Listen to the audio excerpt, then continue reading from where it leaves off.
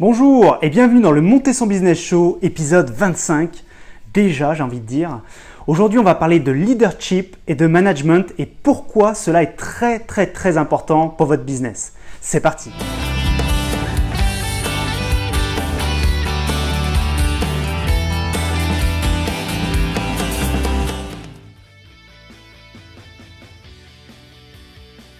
Bonjour à tous et bienvenue dans le Monter son business show, épisode 25 hein, déjà.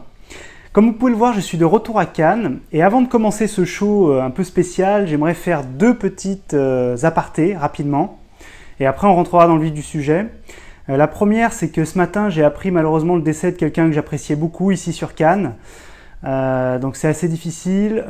donc Fred, voilà, je pense à toi, sache-le, également à ta, petite famille que je salue. Euh, c'est vraiment difficile pour moi du coup pour faire cette vidéo, mais bon voilà, il faut que je le fasse, euh, on est lundi et c'est comme ça. Et le deuxième point, quelque chose d'un peu plus drôle, j'ai envie de dire, euh, une école Agnelé. En fait, c'est un projet qu'on a créé. Alors, moi, je fais partie du projet, j'ai pas créé le projet, mais en fait, avec un espace coworking à Nice qui s'appelle Les Satellites, on a lancé ce projet. L'objectif, c'est d'apporter une école et donc une, bonne école hein, pour, euh, pour pas mal de, personnes euh, euh, dans cette petite ville de Niélé qui est donc en Côte d'Ivoire. Donc si ça vous intéresse, vous pouvez aller sur badesatellites.com et vous pouvez vous renseigner un petit peu plus sur le sujet et sur le projet. Allez, maintenant, je vous propose de, de démarrer.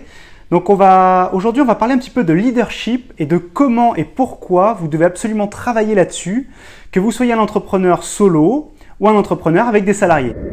En fait, que vous soyez entrepreneur euh, solo, hein, si je puis dire, ou que vous ayez déjà des partenaires ou des gens avec qui vous travaillez, des collaborateurs ou des salariés, il est vraiment très très très important de travailler sur ce qu'on appelle le leadership. Euh, il n'y a pas vraiment de mot en français. Euh, si vous en connaissez un, vous me le mettez sous la, vidéo, parce que j'aime pas trop utiliser des anglicismes non plus, même si j'adore cette langue.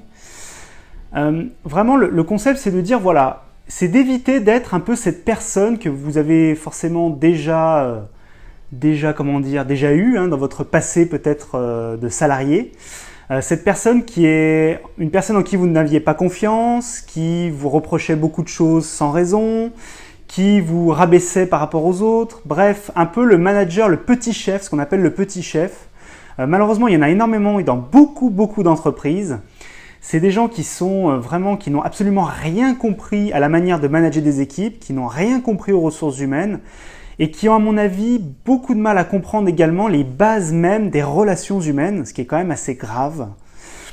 Et donc je voulais, euh, je voulais faire cette vidéo pour essayer d'éviter que vous soyez une de ces personnes, parce que quand on est entrepreneur, on va être amené à travailler avec des clients, avec des fournisseurs, avec des collaborateurs, que ce soit des, des personnes indépendantes qui vont travailler pour vous ou avec vous, ou que ce soit même vos propres salariés.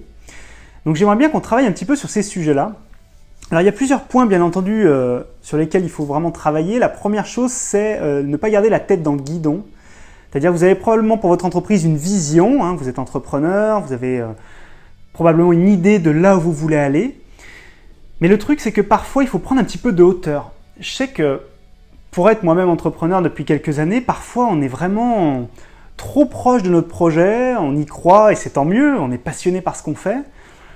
Mais parfois, il est vraiment intéressant de prendre un petit peu de la hauteur et d'essayer de, de prendre la vie un peu d'autres personnes qui seraient peut-être dans le même cas que vous, des entrepreneurs, des gens qui ont déjà monté des business, pour peut-être leur demander, leur poser des questions, même s'ils ne sont pas du tout dans le même domaine que vous. Hein.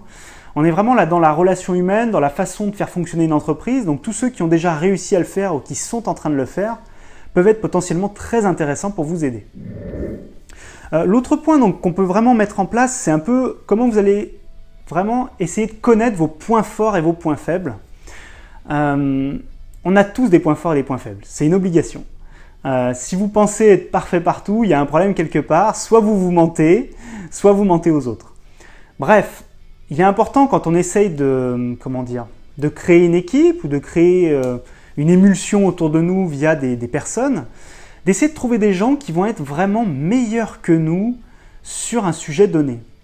Typiquement, imaginons, moi, je suis en train d'ailleurs de travailler là-dessus, sur un peu la, comment dire, le développement de mon activité. Pour l'instant, je suis seul, mais cette année ou l'année prochaine maximum, il va falloir que je commence à me structurer. Du coup, je me pose des questions. dans quel domaine je ne suis pas réellement bon, ou dans quel domaine je pourrais m'améliorer? Et du coup, la question à se poser, c'est est-ce qu'on va travailler sur nos, sur nos qualités? Donc, est-ce qu'on va vraiment mettre le paquet sur nos qualités, aller à fond et du coup euh, réussir un maximum de choses? Ou est-ce qu'on va essayer plutôt d'améliorer nos, nos faiblesses? Et je fais partie du camp de ceux qui pensent qu'il faut plutôt travailler sur vos qualités et laisser vos faiblesses à d'autres personnes qui, elles, pour qui ce sont des qualités et des forces. Alors bien entendu, il y a une chose aussi assez importante qu'on oublie souvent. Hein, euh, il y a beaucoup de gens qui ont du mal à dire le mot merci. D'ailleurs, ça vaut aussi pour la, vie personnelle, j'ai envie de dire. Et la question à se poser, c'est pourquoi il faut remercier les salariés, les collaborateurs et les partenaires qui travaillent avec vous? Mais parce que c'est, en fait, c'est une évidence, mais on s'en rend pas forcément compte. Mais si on ne le fait pas, on passe à côté de quelque chose. Déjà, ça fait du bien aussi bien à la personne qui le reçoit qu'à la personne qui le donne. En plus, ça permet de créer de meilleures relations. C'est vraiment très très intéressant pour ça. Et troisièmement, je vous assure que quelqu'un qui n'est pas complimenté, d'ailleurs, il y a une étude américaine qui avait été faite, il faudrait que je vous retrouve ça et que je le mette sous la vidéo. Étude américaine qui avait montré qu'en fait, le salaire n'était pas du tout la chose la plus importante pour les salariés. La chose la plus importante pour les salariés, tenez-vous bien, c'est la reconnaissance. Et eh oui, c'est la reconnaissance et pas du tout le salaire. Donc en fait, on peut tout à fait donner une carotte avec le salaire, hein, ça fonctionne très bien, bien entendu. Mais en fait, ce qui fonctionne beaucoup mieux, c'est la reconnaissance et c'est donner des responsabilités aux gens avec qui vous travaillez. Je sais que c'est pas toujours facile, je le sais puisque moi-même j'ai eu pendant très longtemps du mal à déléguer des choses et à donner des responsabilités à des partenaires parce que j'étais peut-être un peu trop un peu trop perfectionniste sur certains points, sur d'autres je ne le suis pas du tout, je vous rassure. Mais voilà, sur certains points je l'étais un peu trop et j'estimais hein, du haut de mon ego que euh, les choses ne pouvaient pas être bien faites si elles étaient faites par quelqu'un d'autre. Donc essayez vraiment de vous placer à ce niveau-là et de, partager un maximum de choses et surtout de remercier les gens qui travaillent avec vous. Euh, l'autre point important, euh, vraiment, c'est tout ce qui est lié à la communication. En fait, au début, quand vous êtes seul et que vous ou que vous avez très peu de partenaires avec qui vous travaillez, c'est en principe plutôt facile de communiquer. Hein. Jusqu'à 4 ou 5 personnes, en principe, tout se passe très très bien. À partir d'un certain développement, quand vous commencez à aller un peu plus haut, ça devient de plus en plus compliqué. Euh, j'ai lu récemment un article qui était super intéressant sur une entreprise, une startup qui était passée de, je crois, c'était 5 personnes à 80 personnes en un an. Et là, j'ai dit waouh, euh, ça n'a pas dû être facile tous les jours. Il expliquait justement qu'il avait beaucoup de, problèmes, qu'il n'avait pas mis en place les process qu'il fallait suffisamment tôt et que ça avait été une catastrophe en fait. Euh, ça avait été très très très très dur. Et donc il expliquait euh, voilà ce qu'il fallait faire pour, les prochains qui allaient euh, vivre peut-être la même chose que lui. Donc si jamais vous êtes dans cette situation-là, faites très attention, mettez vite en place des process, soyez très clairs.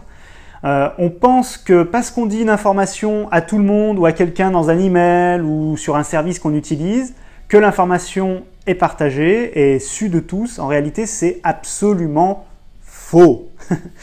il faut souvent répéter beaucoup les choses, il faut souvent faire des rappels. Donc n'hésitez pas à le faire, c'est très important. Voilà pour cette petite partie sur le leadership. Alors bien entendu, dans cette courte vidéo, j'ai pas pu tout vous dire.